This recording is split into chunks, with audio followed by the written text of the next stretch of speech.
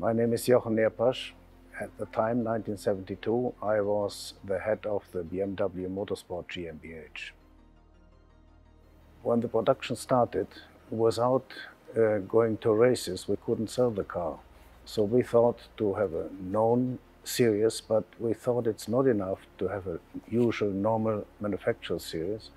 And we had a very nice evening um, in, I, I, think it was 78 with Max Mosley.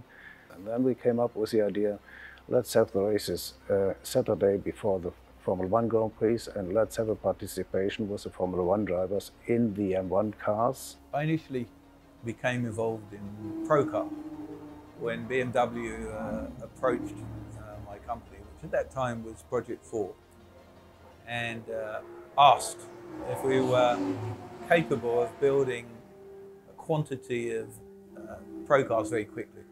It was uh, clear that they had uh, a lot of pressure because they were running against a deadline uh, to start the series.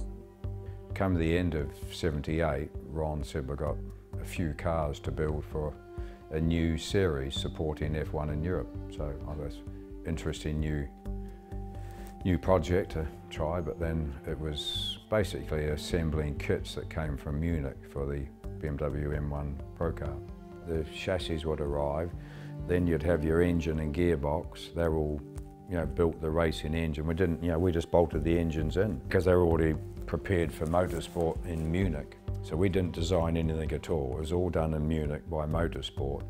And I think Ron got the contract to build them all up, assemble them, so basically it's like a, a kit car, but you get it all, put it all together, um, assemble it, fire the engines up, get everything working. We get them painted to the customer's colour scheme and then they'd be delivered back to the customer.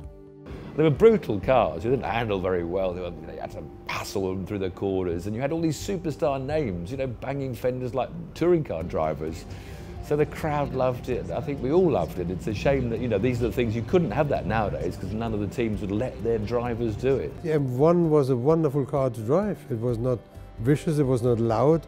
It was, I mean, you didn't put on the radio, obviously, but, you know, it was a bit noisy with the exhaust. They had to be noisy to be sexy. You know, if they're too quiet, they lose sex appeal. You want the noise, it's all the stimulus. It's the looks, the smell, the noise, and that attracts you to these particular machines. Inside it was very civilized, the car was nice to drive. I mean, people enjoyed watching it, and it was sliding and drifting. There were beautiful cars, so that made, that made the key impact to me. Then you see names like Mario Andretti, Carlos Reutemann, Didier Pironi, Jean-Pierre Jarier, Niki Lauda, Nelson Piquet, John Watson, Emerson Fittipaldi, James Hunt, Patrick Depailler, Jacques Laffite, Alan Jones, Clay Regazzoni, they all drove M1. I mean, this is fantastic, isn't it? This was the first year. The interest in Procar in M1 racing left a little bit uh, with BMW because the decision then was to go into Formula One. This was a priority and therefore I think Procar was forgotten a little bit. It was not a good decision because it was so popular and the M1 originally was thought to be the motorsport car for BMW for the future. But uh, as I said, Formula One got priority. This was the decision. But for me, uh, the M1 is somehow my child. It was, it was not a good decision. Uh, I mean, even nowadays, 50 years later, everybody speaks about the Procar series, so it was very successful.